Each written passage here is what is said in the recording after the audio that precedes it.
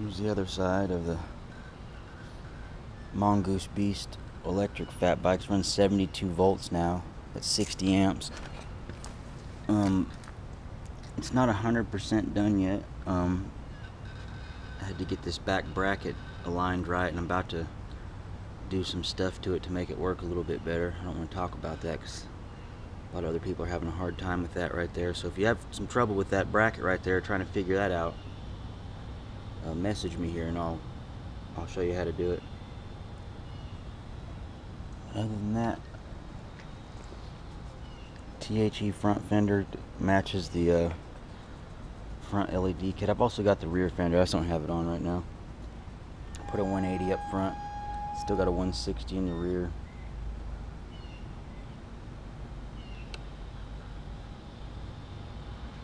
Next video is going to be a, a riding video. Thanks.